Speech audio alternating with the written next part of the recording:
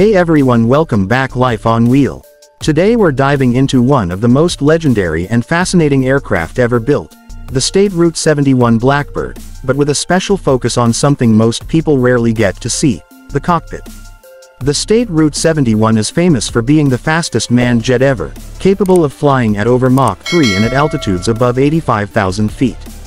But what was it like for the pilots inside this incredible machine? Let's find out. The SR-71 cockpit was a true marvel of engineering for its time, and even today, it feels like something out of a sci-fi movie. In the 2026 restored and upgraded version, the cockpit combines original analog gauges with modern digital displays to help maintain its historic authenticity while improving safety and usability. When you first look inside, you're struck by how cramped and tight it is. Pilots had to wear full-pressure suits similar to what astronauts wear, due to the extreme altitudes.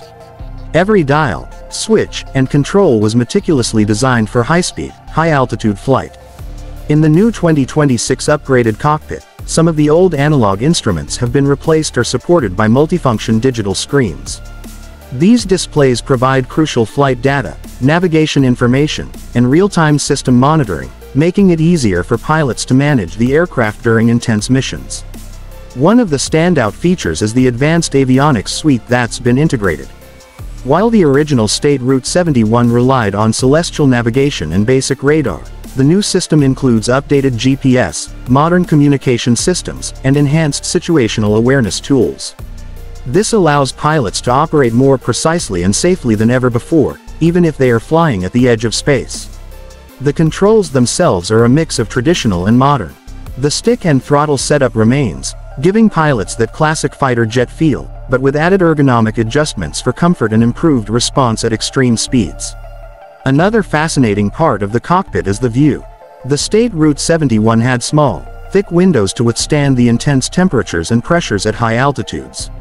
Pilots describe the view from the cockpit as breathtaking, seeing the curvature of the Earth and the deep blue-black of the sky above. The 2026 upgrades to the SR-71 cockpit pay respect to its iconic history while making it safer and more functional for future test flights and demonstration missions.